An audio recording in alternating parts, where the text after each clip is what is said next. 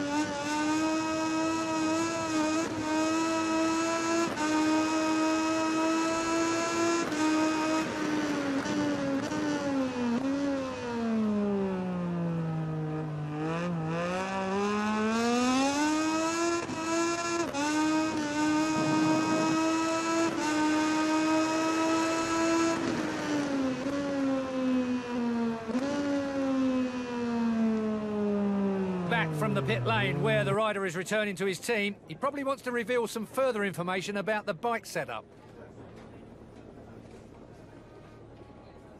Welcome to the Termas de Rio Hondo circuit in Argentina for live coverage of the Moto2 race. A few more minutes and the Moto2 race will begin. Right now, we are at the starting grid, waiting for the riders to receive the signal to start the warm-up lap.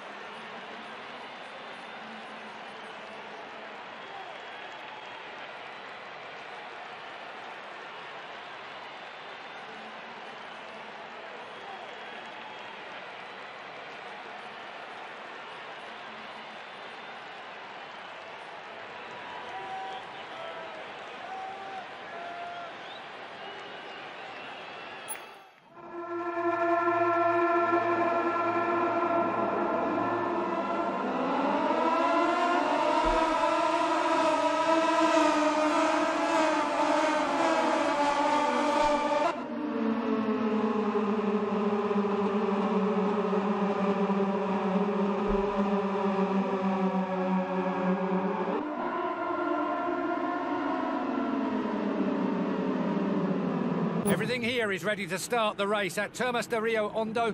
Riders just have one more thing on their mind now, being the first to cross the finish line.